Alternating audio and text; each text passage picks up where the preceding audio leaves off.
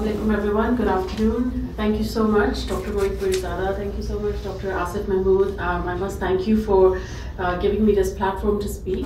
I must also thank Asif and uh, Ryan Grim um, and all of you. Uh, it is a true honor to be speaking here today at the National Press Club and uh, to be able to share what I saw with my own eyes in Pakistan.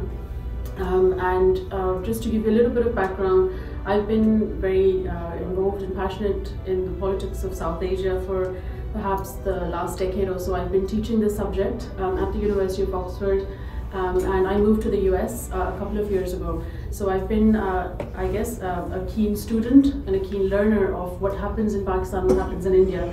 Um, and um, I now also, of course, do my own vlogging.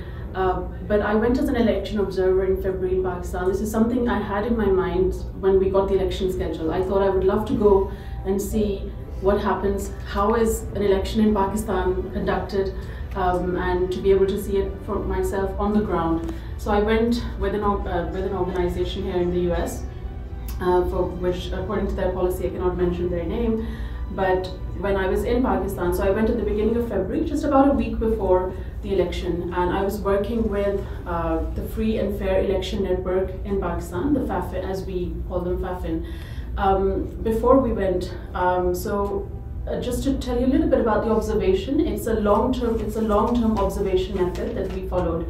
Um, so we were not looking at just the election day, but we were looking at uh, I would say three stages. So the election we were taught, and this is this was a part of our training, is not just the polling day, but is pre-election, polling day, and post-election. And so we started making notes. I would say from December, um, and we uh, when the election schedule was announced.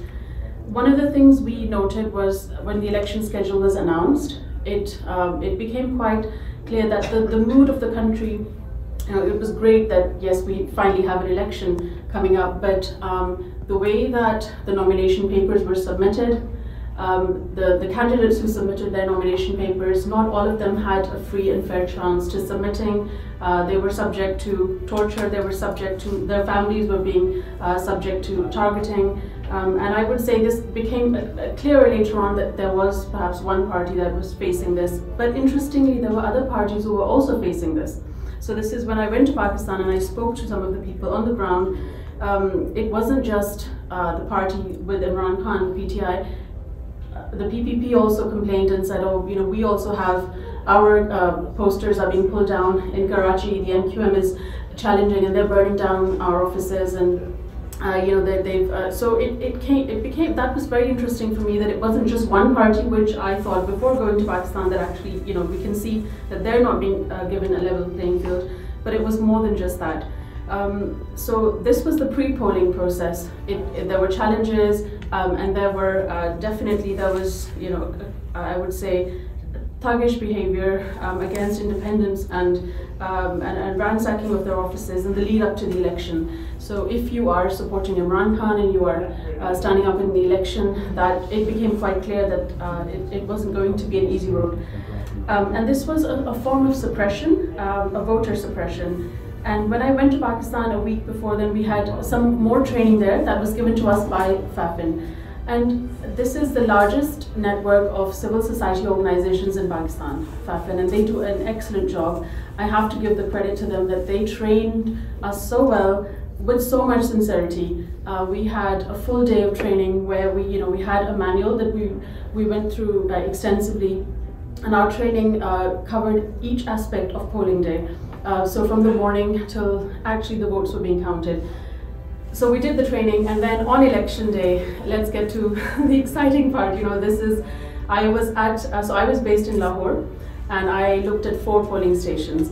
Um, and uh, in a remote area called Fatehgarh, um, it was very difficult to get to, but you know, they gave us transport.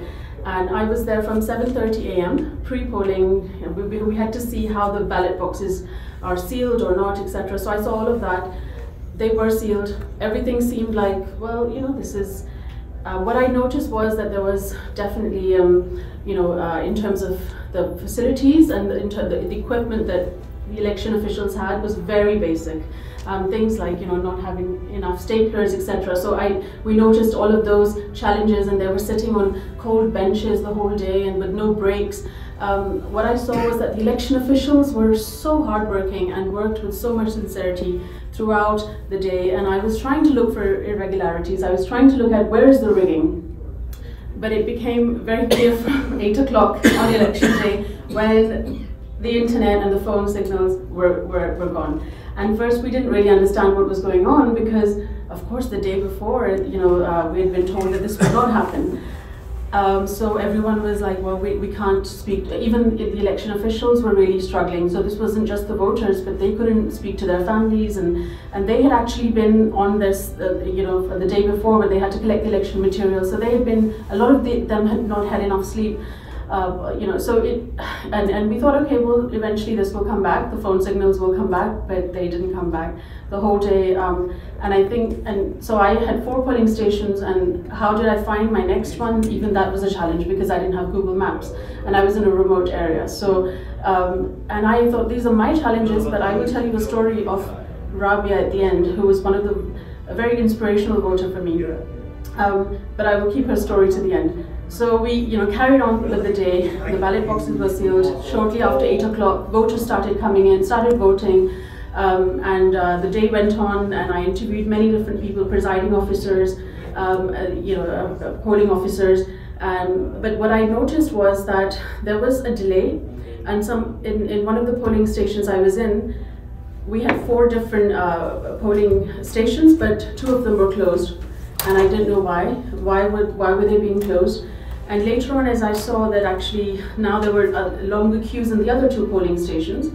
So the, this was perhaps, I wouldn't say, I wouldn't say it's a tactic, but this was this was something that I observed as slowing down the process of voting. So what we what I saw was long queues outside the two polling stations in that building, um, and this happened. And I heard uh, from the other observers later on that this was something which was not just in my polling station but in others as well. That they were so if you you know if you just decrease the supply, there's more demand. So there was long queues outside, and not many not many people were not being able to vote because of this.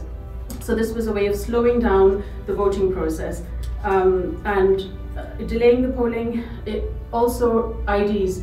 This is another thing I noticed when voters were coming in with their IDs. A lot of them were certain uh, IDs were not being accepted. Um, and voters were being turned back. Uh, presiding officers and election officers, the way they were treating the elderly voters, and I really felt this was a form of voter harassment uh, because there was, you know, the, the and, I, and I've never seen so many uh, elderly people uh, vote like this in Pakistan's elections before. They were coming without any help and uh, they were coming in and asking the presiding so how do I vote? And of course, as we, we know, that it was this was a very difficult uh, situation with so many symbols, especially uh, for PTI. Um, and the presiding officer was, was, was very rude to, to these elderly voters and, and almost inhumane behavior that you should have brought a helper with you, I cannot help you, I can, and technically presiding officers or any election official cannot help you vote. But that doesn't mean that you treat these people like animals. You, you know, I, I really felt like this is, I, I saw a lack of kindness in the, in the behavior of the election officials. Um, and I thought this is not the training that they should have been provided. Um, if people are trying to vote, please help them vote. A vote, uh, an election should give access to people and not uh, not put them off. Um, um, and, and so, and this was very disturbing for me to see the way that these elderly uh, uh voters were being treated. Um, and the day went on, and uh, it was you know until 11 and we so i went to four different polling stations and in the last one that i went to i saw the vote counting as well which was uh, which was which again I have to say in front of me this was the form 45 that was being produced in NA one to one and I saw all the votes for the different parties being counted and it looked absolutely fine. And I thought well where is the rigging this is and I remember I thinking like uh, oh, this is what what is everyone talking about you know they're actually they opened up the boxes the, the, they first closed the doors the security we had security inside all the polling agents. And by the way, there were so many polling agents for PTI. I, you know, this is one of the other things which I, maybe this is a myth I want to dispel. This this one thing that polling agents perhaps of PTI were not allowed, but at least in the ones that where the polling stations I were, they most of the polling agents were for the independence PTI. Um, so they were full of passion and lots of drive. Um, and so eventually around 10:30 p.m., you know, the votes they started counting the votes, the presiding officer, and uh, one by one. Um, and uh, and I even made her recount one of the, the, the, rounds, and I said, I think you've made a mistake. I just wanted to also challenge to see if, if they actually listened to us. And she did, and she recounted it in front of me. And I and I remember thinking, this is I'm satisfied with this. I'm satisfied with the way the vote counting is done um, now. And, and she was very, very, very meticulous and followed all the processes. Um, perhaps a little bit inefficient, but uh, you know, this was at 11 p.m. We got the form 45. We walked out of the polling station, um, and uh, and and the, there were there were lots of young men outside who were saying, "Can you tell us the result? Who who won?" And I showed them my form 45, and I said PTI. That was the NA, NA 121, and there was a huge celebration. Um, but this is this is only until 11 p.m. And I want to um, I want to go back actually to Rabia's story, which I mentioned, and then I will come on to the post polling. Around 5 p.m., which is when polling time stopped, I was just coming out of the, the gate to, to get something, and uh, and and there were there was still a queue of people who I, I who I explained because of this delay in the voting process couldn't vote. But there was this one girl who really caught my attention, um, and she saw that I had an ECP pass, so she said. Uh, you know, can you please let me in? And I said, well, it's, it's 5.20 now, the voting is closed. Um, and she said, please, and you know, almost, almost to the point that she was begging, and, and even the guards on the gate said, can you please take her in somehow? Just, and I said, I have to go and ask the presiding officer. This is not, not my authority as an election observer to let you in. So I went back and I spoke to the presiding officer, um, and uh, she said, okay, let her come in. Uh, but you know, if I hadn't gone out, that and that girl actually, she started crying in front of me, and she said, "Please let me vote." And I, I've never seen this kind of sentiment. And even the guard said, "Look, you know, she, she's an absolute, she's she's crying. Please let her in." I, I, she was so sentimental and she said, I don't know why they allocated this polling station to me because she said, I, I don't have anyone who lives in this area. Just a day before the election, they changed my polling station. Um, and this happened to a lot of voters where they were designated one polling station but a few days before they were changed. Um, and then she said, and I, she said, you don't know how I came here. I, I left my house at 11 a.m. and now I get here at 5:20 p.m. because there was there were no Google Maps. And she said that they've put me in this remote area. How am I supposed to come here? And she said, I dropped my two sisters off in the morning to their polling stations, and now I've just asked people and I've found my way here. And that really touched my heart. And I thought, like, and it means so much to her. You know, there were other voters who couldn't vote, but they were just like, okay, we can't vote. But she, she, she just started crying and she had tears in her eyes. And, and I took her inside, and, you know, the presiding officer thankfully said yes. And that girl was in the queue and she was the last one to vote in that polling station. And I asked her, who did you vote for? And she said Imran Khan for oh. PTI. I mean, I you know I think this this kind of voice, um, that's the biggest success that I as an observer saw. That the mandate, the people came out despite all the struggles. And actually, I realized, oh my God, actually, yes, not having the internet means you can't have Google Maps. And all these people who she made the effort and she made, she had the courage, and she was a young girl you know, probably in her late 20s or 30s. But what about the elderly people? What about the disabled people? And um, uh, you know, so and she had a car, she had transport, she could somehow do this. But there must be so many people who could not have voted because of, of not having the internet. But what I and also when people were voting, as an observer, I was also asking some of the, you know, I was interviewing the people who were voting, and and some of a lot of people said, "I'm sorry, I don't want to tell you who I voted for."